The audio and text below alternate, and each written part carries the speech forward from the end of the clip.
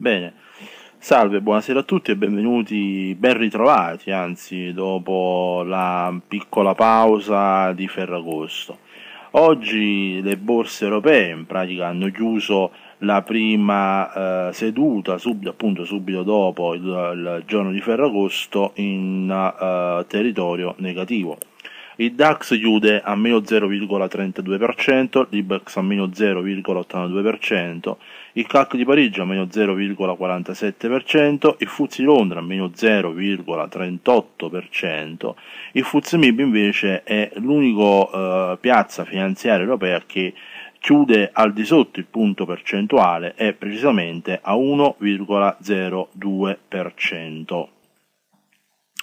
Bene, per quanto riguarda invece i market mover in programma nel corso della giornata, partiamo dalla Gran Bretagna con l'inflazione che vira in negativo del mese di luglio, eh, registrando un 0, meno 0,1% su base mensile mentre alla base annualizzata la variazione si attesta al più 0,6%. Poi dalla Germania l'indice ZEV eh, eh, è in netta risalita nel mese di agosto. Il termometro, appunto, che l'indice che misura la fiducia eh, tedesca segna un più 0,5 punti contro il meno 6,8 punti del mese di luglio. Mentre sempre nell'Eurozona la bilancia commerciale risulta in surplus nel mese di giugno con 23,4 miliardi di euro in calo rispetto ai 24,5 miliardi del mese precedente. Dagli Stati Uniti invece l'inflazione eh, a luglio segna un più 0,1%, con un più 2,2% annualizzato. Domani, mercoledì 17 agosto, avremo alle ore mezzanotte e 45 tasso di disoccupazione e variazione dell'occupazione della Nuova Zelanda. Poi seguirà alle 10.30, durante la sessione eh, europea, la variazione della richiesta dei sussidi di disoccupazione della Gran Bretagna. Poi nella sessione americana si parte alle ore 16.30, scorti di petrolio greggio e poi alle ore 20 abbiamo il, uh, la notizia più importante della giornata con i verbali della riunione del FOMC. Bene, passiamo ai nostri grafici partendo praticamente dall'euro-dollaro dove dall'euro-dollaro qua eh, praticamente abbiamo una situazione abbastanza interessante da poter valutare nel corso della seduta di domani o eh, meglio alla chiusura della giornata odierna. Per quale motivo? Perché c'è una buona possibilità, questo indicato soprattutto sia dall'H4 che dal giornaliero, di un, uh, di un movimento short, quindi in una posizione short, potremmo entrare short a mercato, in quanto sul giornaliero abbiamo una falsa rottura di 1.1284, cioè la resistenza 1.1284 praticamente è stata testata dai compratori che si sono spinti praticamente a un massimo 1.13.22 per poi eh, ritornare al di sotto 1.12.84 quindi qua abbiamo una falsa rottura un fake di 1.12.84 quindi da qua potrebbero ripartire potremmo avere una ripartenza ribassista proprio al di sotto 1.12.84 la stessa situazione ci viene indicata apriamo meglio sull'H4 abbiamo questa butterfly ribassista che si è già formata. E proprio sull'H4 vedete abbiamo questa barra di esaurimento proprio nella candela che va dalle 12 alle 16 e poi questa qua dalle 16 alle 18 che si mantiene sotto 1.1284 quindi l'idea fondamentale è questa quella di andare a verificare se per esempio sotto eh, eccoci qua sotto rotto eh, 1.12.44 quindi 1.12.40 se viene rotto questo minimo potremmo entrare a mercato short. Beh ovviamente dovremmo aspettare mm, l'attenzione è quella di attendere cosa succede a mezzanotte anche perché eh, diciamo che il mese di agosto dal punto di vista operativo è stato un po' complesso, però ovviamente mancano ancora un bel po' di giorni, quindi cerchiamo di, eh, cercherò di eh, raddrizzare il tiro di appunto far fronte ai vari inconvenienti che abbiamo incontrato. Passiamo al dollaro yen, vediamo un attimo come siamo messi sul dollaro yen.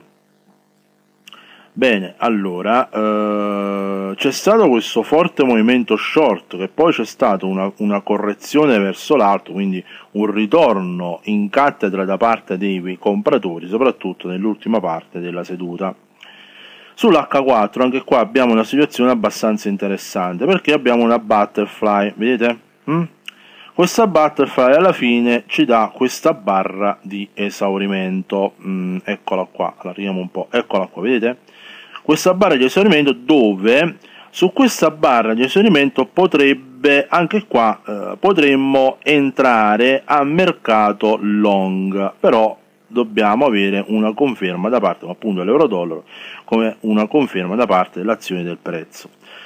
Per quale motivo la conferma? Perché praticamente il prezzo che cosa ha fatto? Praticamente ha breccato il massimo di questa candela di H4 però è rientrata dentro, quindi fondamentalmente c'è stata una, uh, un, una, una, um, una falsa rottura del, uh, una falsa rottura del massimo della candela uh, de, che, che va quella là con la barra di esaurimento più importante.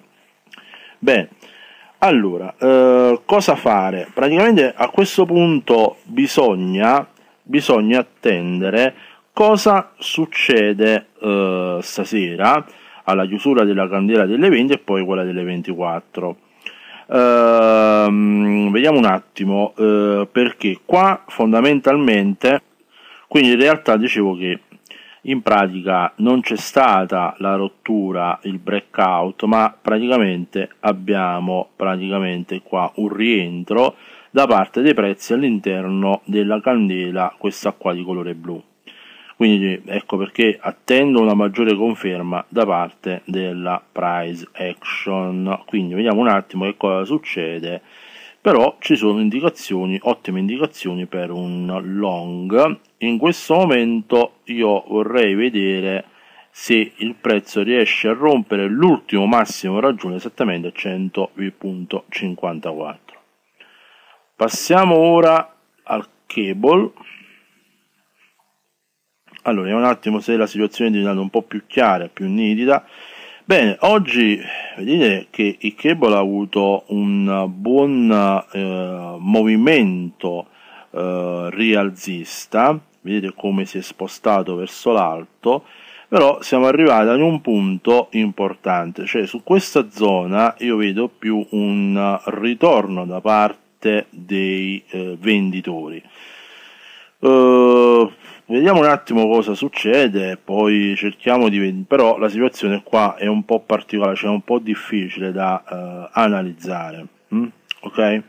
Benissimo. Uh, ora invece passiamo uh, all'AutoCAD, praticamente l'unica operazione che eh, abbiamo in macchina, abbiamo ancora a mercato, in quanto fondamentalmente le altre tre operazioni sono state chiuse a profitto zero perché c'è AUD-USD, adesso lo andiamo a vedere, prima di AUD-CAD, allora AUD-USD, eh, eccola qua, praticamente, adesso, eh, eccola qua, vedete?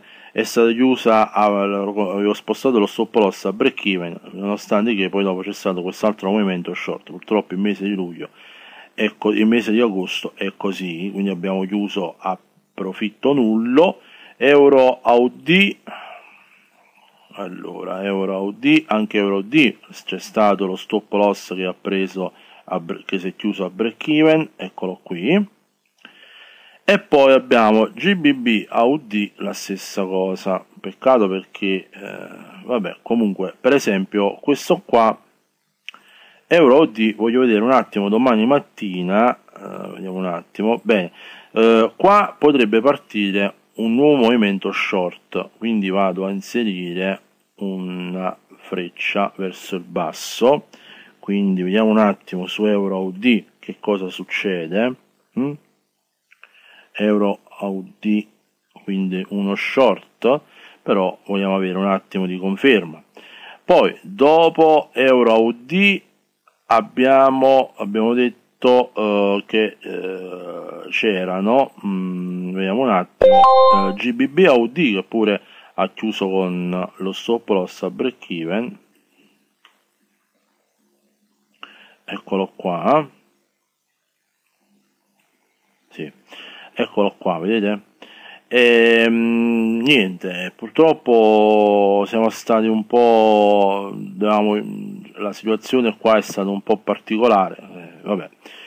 Uh, l'unico che praticamente si mantiene, abbiamo una buona posizione, è AutoCAD, dove in questo momento siamo esattamente, adesso andiamo a leggere, siamo esattamente a 126 punti di profitto, non male per quanto riguarda il mese di, ehm, eh, di agosto. A questo punto che fare? Vado a spostare lo stop loss, lo vado a spostare, siamo a 126, lo vado a spostare di 50 punti, eccoci qua in modo tale da avere già in, eh, sotto controllo, cioè da avere già 50 punti in tasca. Ok, quindi praticamente in modo tale che riusciamo anche ad coprire parte della, uh, degli ultimi degli stop loss che abbiamo preso appunto uh, primi, uh, nei primi giorni di, lui, di, di agosto. Ok? Benissimo. Quindi siamo qua. Uh, ripeto ritorno a dire che ho messo il target a 0,90 un po' più sopra di 0,97,77 quindi praticamente uh, questo target a me mi farà fruttare circa 235 punti. Se ci manteniamo sotto 0,9926 praticamente la situazione vedete eh, si continua a scendere. Il movimento è sempre short soprattutto nelle ultime tre candele a 4 ore perché abbiamo tutti i massimi e minimi decrescenti quindi dobbiamo vedere solo qua l'ultima che eh, anche se, se, um, se la chiusura riesce a riportarsi al di sotto del minimo di 0,9880 la vedo un po' difficile però circa ci sono, però ci sono 8 punti, non è che ci sta un'infinità, uh, c'è una maggiore probabilità che eh, i ribassisti tenderanno a spingere con più forza. Bene, uh, per questo io ho concluso, se ci sono altre operazioni a mercato, però in questo momento sto un attimo riset- mettendo un attimo in ordine alcune cose, alcune situazioni importanti, uh, la mia strategia mh, mm, sto un attimo filtrando ancora di più i segnali di ingresso al mercato anche perché praticamente per poter uh, rendere sempre più performante il tutto uh, agosto purtroppo la situazione è quella che è. Ovviamente mancano ancora 10-12 giorni alla fine di agosto quindi ci sono tutte le prerogative per poter fare dei buoni gain e poi ovviamente poi passeremo direttamente al mese di settembre dove ci saranno eh, ovviamente la situazione sarà molto più semplice, meno caotica di quello di agosto, con maggiore volatilità, quindi molto più semplice da poter tradare. Io vi ringrazio, seguitemi sempre sulla pagina Facebook Teletrade Italia e sulla chat Telegram, la chat privata. Grazie mille e buona serata a tutti.